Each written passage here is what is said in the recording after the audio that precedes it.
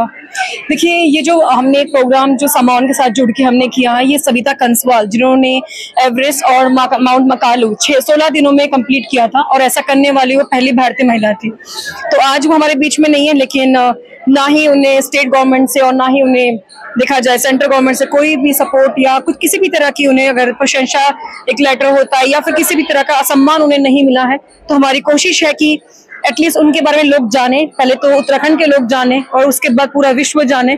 और जो उनका सम्मान है, जो वो नहीं उनको मिला है, वो उनको मिले।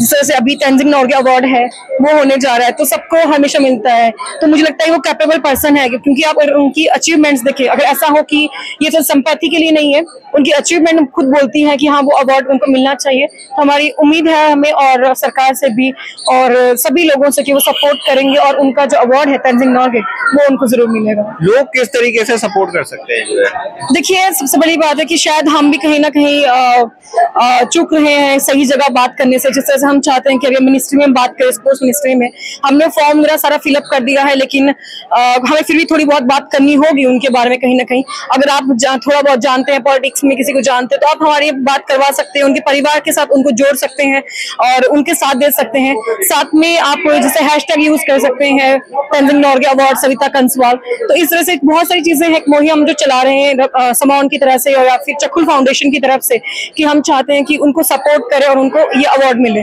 तो इस तरह से हम पोस्ट करके ज़रिए वीडियो के ज़रिए और मैसेज के ज़रिए हम ये मैसेज देना चाहते हैं पहुंचाना आपने कहा था कि एक म्यूज़ियम भी आप लोग उत्तरकाशी में बनाना चाहते हैं उसके बारे में भी कुछ कहना चाहेंगे हमारे दर्शकों से? देखिए सिंपल सी बात है क्योंकि वो लड़की नॉर्मल लड़की नहीं थी।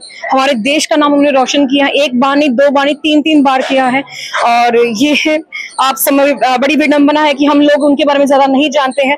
तो उम्मीद है कि एक बार उनके नाम पे हम एक म्यूज़ियम हम खोलना चाहते हैं। उनकी जो यादगार हैं या उनकी यादें हैं हम उनको एक जगह समेट के रखना चाहते हैं ताकि जो लोग हैं उन तक ये मैसेज पहुँचे और वो लोग सभी लोग उनसे जुड़ने की कोशिश करें उनके जो किए गए काम है जो उनके द्वारा उनको याद करें उनके उसके बारे में जानने की कोशिश करें।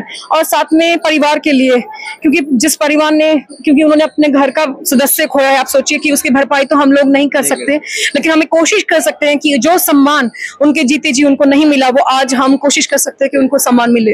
तो एक छोटी सी कोशिश है कि उनके नाम पे म्यूज़ियम खोले हम उत्तरकाशी में।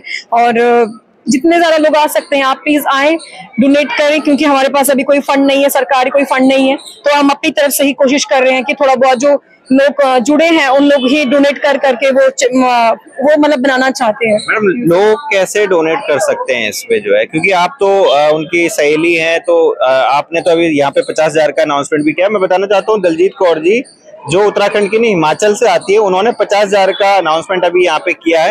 लेकिन लोग कैसे सहयोग कर सकते हैं? किस चीज़ के माध्यम से? देखिए हमने इसमें सोचा है कि या तो हम कोई वेबसाइट जो ऑनलाइन वेबसाइट है हम उस पर लिंक बनाएँगे और जो भी लागत जो भी लगेगा उस म्यूज़ियम के लिए वो पूरी लागत एक एक रुपए हम लिखेंगे।